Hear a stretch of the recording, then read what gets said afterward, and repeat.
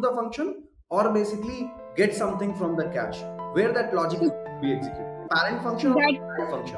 What is the point then you are at, at which point you are confident, hey, I have the data with me. What shall we change on line number 12 to make it work?